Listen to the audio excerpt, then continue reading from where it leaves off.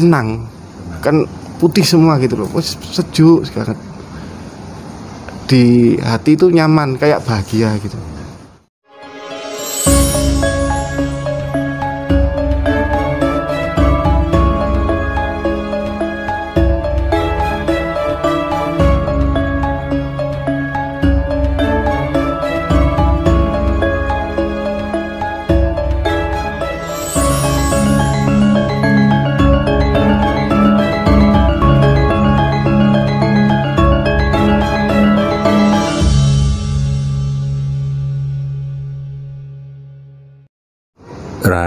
teman-teman semua. Assalamualaikum warahmatullahi wabarakatuh. Eh, Hari ini siang Jam berapa mas? jam satu lebih seperempat. Jam 1 lebih seperempat. Tanggal 8 Tanggal 18 November 2020 Nah kebetulan saya bersama Mas Heri Sama Mas Udin. Eh, Beliau berdua menemui saya untuk ya apa carane iso bermeditasi? Karena pas hari ini tadi sudah lowong dan Mas Heri kemarin mau ketemu tapi saya belum ada di kediaman. Terus kalau Mas Udin memang hari ini sudah kontak beberapa berapa hari gitu Mas ya? Ya terus mendadak Mas samen ke sini Mas. Soalnya gak solusi, solusi lain kalau ndak segera ketemu. Nah rupanya ada beberapa hal yang perlu di-share ke teman-teman. Nanti biar beliau berdua bercerita. Eh, Sebelum kami mengunggah video ini Sebelum kita bikin video ini Tadi sempat berapa menit? 5-10 menit saya memberi eh, apa namanya sedikit arahan kepada Mas Heri dan Mas Bakhrudin untuk bagaimana bermeditasi. Sing ya kalau di bahasa Mas Hendra kemarin lost doll itu ya apa carane? Nah monggo Mas Heri dan Mas Bakhrudin memberi testimoni eh, bagaimana tadi berjalan sebelumnya bagaimana dan setelahnya bagaimana. Nah, mungkin saya awali dari Mas Heri dulu ya. Monggo Mas Heri. Jadi, matur nuwun Mas Bonang atas waktunya. Salam rahayu. Nggih. Eh, sebelumnya saya berterima kasih sama Mas Bonang karena sudah dikasih tahu cara untuk bermeditasi. Selama ini kan pikirannya masih kacau.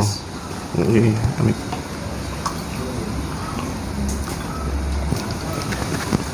sebelumnya pikirannya kacau dan dikasih tahu cara untuk titik-titik meditasi. Eh, untuk titik yang pertama saya disuruh ke tangan sini.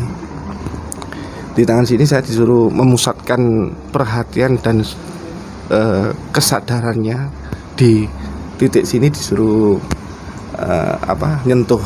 Setelah disuruh nyentuh terus disuruh lepas dan situ saya merasakan pergelangan tangan saya jadi kayak agak besar terus terus berdenyut setelah itu setelah itu eh, dilanjutkan dengan hangat gitu.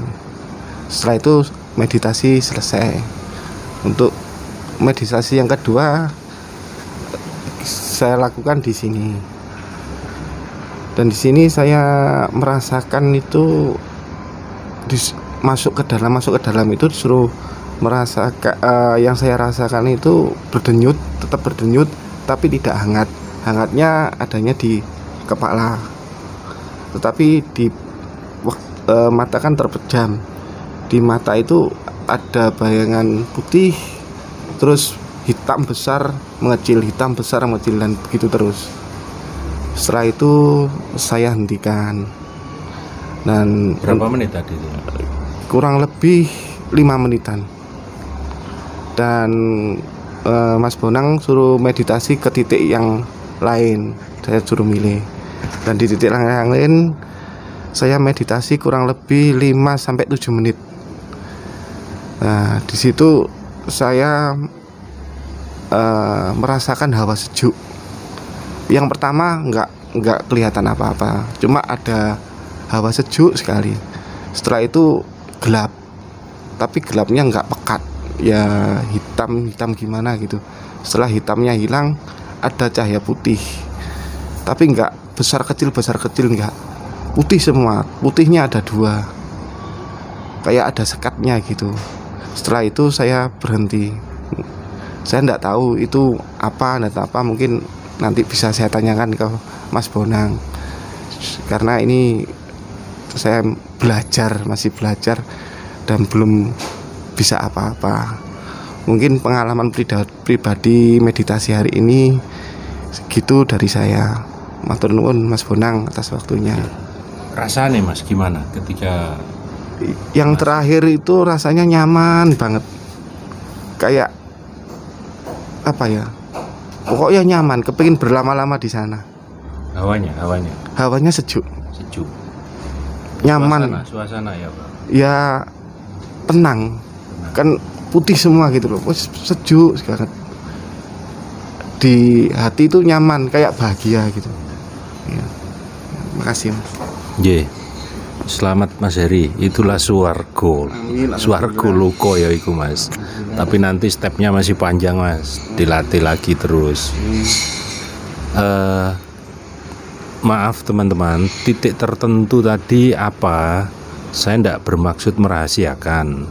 Tapi ini sangat spesifik pada pribadi-pribadi tertentu. Jadi saya harus melihat eh misalnya Mas Heri, oh bisa di sini. Yang nanti individu lain beda-beda. Harus ketika yang ada masih di permulaan-permulaan ya harus didorong dulu. Ketika sudah oke mampu di situ baru di titik itu. Jadi itulah mohon maaf bukan merahasiakan tapi kalau ini di sebarno komabe secara umum nanti malah ndak karu-karuan. Kalau misalnya teman-teman ada yang benar-benar niat ya wes ayo janjian ketemu nanti kalau yang dekat di Sidoarjo ya monggo. Atau kalau saya pas ke Tuban atau pas ke Lamongan ayo ketemu ndak dok pinggir jalan do apa namanya? Warkop warkop ndak masalah saya. Ayo bareng-bareng mencapai titik kesempurnaan itu. Nah ada juga ini Mas Udin yang dari awal tadi sudah sempat saya singgung. Beliaunya harus saya suruh ketemu segera karena ada sesuatu. Nah, ternyata memang ada sesuatu yang bisa menjadikan pelajaran bagi kita. Mas Udin monggo diceritakan dari sebelumnya. Sampai tadi kita latihan meditasi 5 menit tadi apa yang terjadi? Monggo diceritakan Mas Nggih.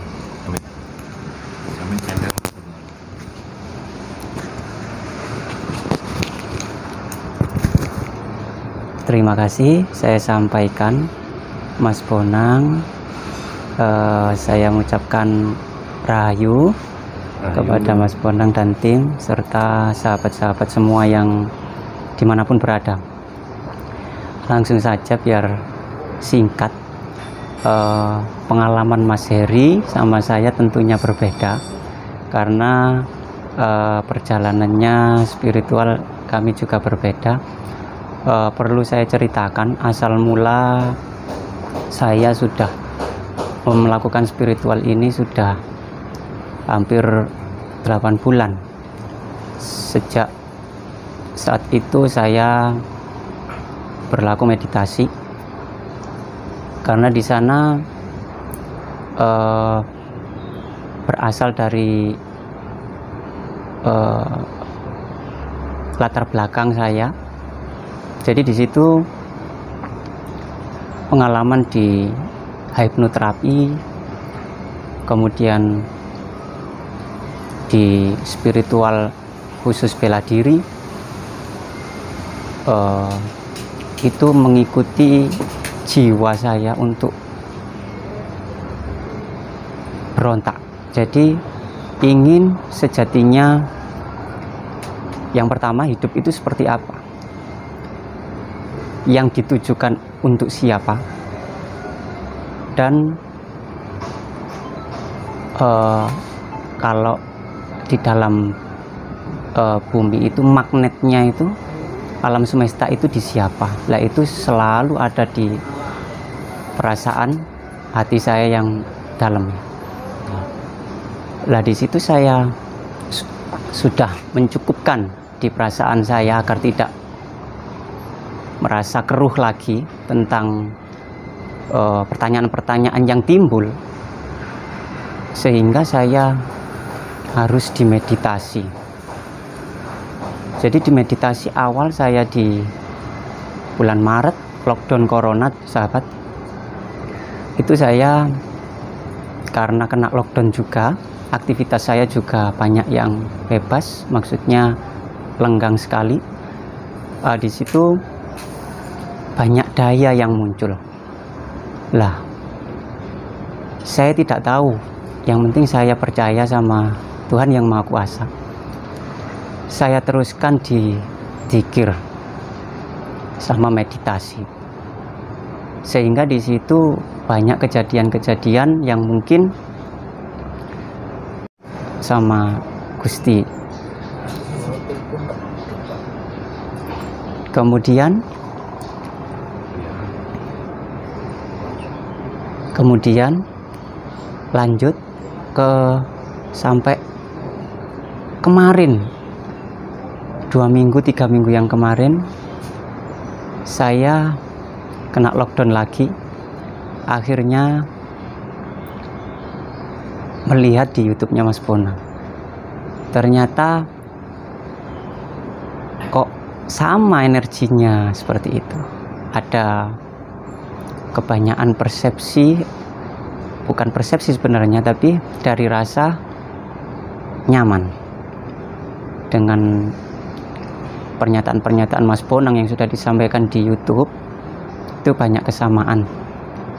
Jadi saya mengikuti perjalanan Mas Bonang akhirnya saya dimasukkan grup dan akhirnya bertemu untuk siang hari ini.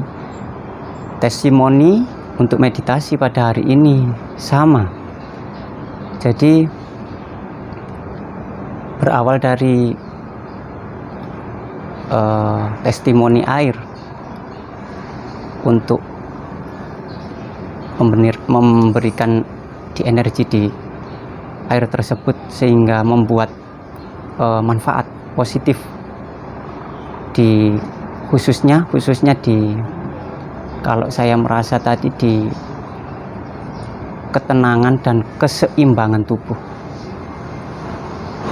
Jadi ketenangan itu saya tidak bisa menyampaikan pengalaman ketenangan itu seperti apa, kedamaian itu seperti apa karena saya yakin sahabat-sahabat semua pasti memperoleh sama dengan apa yang disampaikan Mas Bonang. Meditasi yang pertama saya lakukan eh, karena di situ masih masih tidak salah sebenarnya sih kurang belajar kalau saya kurang belajar Eh, masih terjadi di meditasi itu ketidak netralan pada eh, ini hati dan perasaan. Nah, Nyantolnya di mana? Nah, jadi pada saat sudah fokus di pasrah, tenang, itu sudah mulai masuk di sadar, kesadaran. Kemudian eh, di titik tertentu sudah mulai sambung untuk menuju ke titik-titik selanjutnya tapi di situ kembali ada hambatan terutama di energi yang menuju ke kerongkongan. Nah, jadi di situ eh, kebelum-bisaan saya untuk ingin belajar dari Mas Bonang khususnya bahwa semua yang ada di angan-angan, pikiran, perasaan itu masih mempengaruhi dalam uh, kehusuan, ketenangan dalam bermeditasi. Jadi di situ butuh butuh energi kasih sayang yang super, super sekali harus pasrah sama Gusti yang Maha Kuasa. Uh, karena Mas Bonang sudah menyampaikan bahwa semua itu harus dikasih sayangi, tidak dibuang atau tidak dilawan. Kalau itu semua memang rahmat Tuhan yang Maha Kuasa yang diberikan kepada kita untuk dirangkul, untuk dijadikan satu dalam menghadap kesempurnaan berlaku spiritual. Jadi teman-teman sahabat eh, pengalaman saya ini eh, mungkin sedikit. Dan saya yakin sahabat-sahabat yang lain juga ingin eh, belajar berspiritual. Bagaimana itu prosedur yang benar bahwa kita memang sudah saatnya seperti yang dikatakan Mas Bonang eh, kita harus merdeka bangkit bangkit dalam kebebasan dan kedamaian jiwa spiritual. Mungkin dari saya itu Mas Bonang. Terima kasih. Dari saya salam rahayu.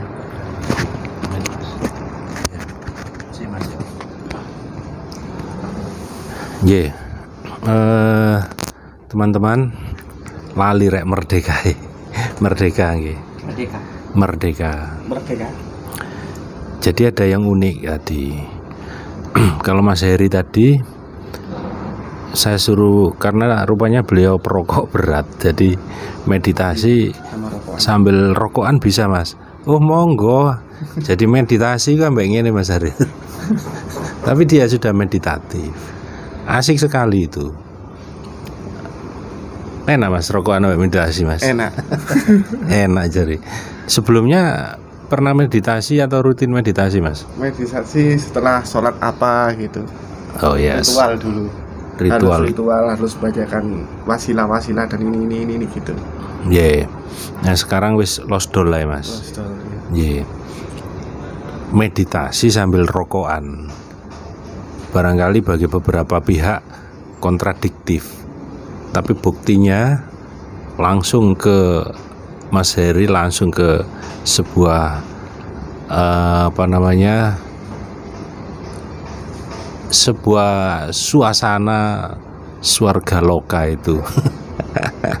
nah, kalau kasusnya Mas Udin, teman-teman ada memang energi yang tercantol di tenggorokan. Karena apa ini? Ada energi-energi yang lain ya Mas Udin ya ngapunten sebelumnya dicangkokkan ke jenengan, dimasukkan dari luar. Tidak tahu itu apa. Tapi pada prinsipnya teman-teman bahwa manusia itu sebuah entitas yang mulia dari Tuhan yang powernya juga begitu besar nah ketika ini dicangkokkan energi-energi dari luar mungkin waktu jenengan main tenaga, tenaga dalam atau apa itu biasanya kan di di apa sini istilahnya mas di kalau peribahasanya itu kalau telasan itu diisi ya Oh ya diisi-isi itu. Nah, itu ternyata membuat keadaan ketika kita naik ke kemurnian itu nyantol. Makanya Mas Udin tadi Mas sama Rene Mas segera ini Mas. Sudah ada solusinya Mas Udin tinggal nanti jenengan lakukan. Dan solusinya asik. Ternyata makan apa mau mas? Eh, nasi bakar. Semen pulang nanti cari nasi bakar. Jenengan makan aja sudah esiku bersih sendiri kenapa bisa seperti itu ya karena yang diisikan tadi ketika kita kontak wis aku kayak ono nasi bakar ae ikan laut ya sudah itu saja siap Nah, itu prinsip prinsip kasih sayang. Jadi walaupun negatif jangan ditiadakan. Kita rengkuh dengan kasih sayang. Oh, ada energi yang seperti ini. Yes, negosiasi aja. Ya apa iki enake? Wong jauh nasi bakar kan 17.000 paling. Nah, setelah itu ketika sudah clear semua, lakukan di titik yang saya anukan tadi, Mas. Makanya Mas Udin urusannya belum selesai dengan saya. Saya bilang gitu. Mungkin cukup begitu, teman-teman. Eh, ayo Gusti bareng-bareng. Sudah waktunya semuanya mencapai ke titik cerah dengan perspektif dengan spesifikasi masing-masing yang menurut jenengan menurut teman-teman bisa kembangkan sendiri setelah ini Mas Heri kalau di rumah jenengan masuk lagi jenengan perkuat lagi bagaimana nuansa-nuansanya nanti jenengan rasakan sendiri. Terus aku cukup sampean WA ae engko Mas seperti ini seperti ini. Nah, jenengan rasakan sendiri. Itu perjalanan dan hak pribadi Anda. Terima kasih Matur Nuwun. Salam rahayu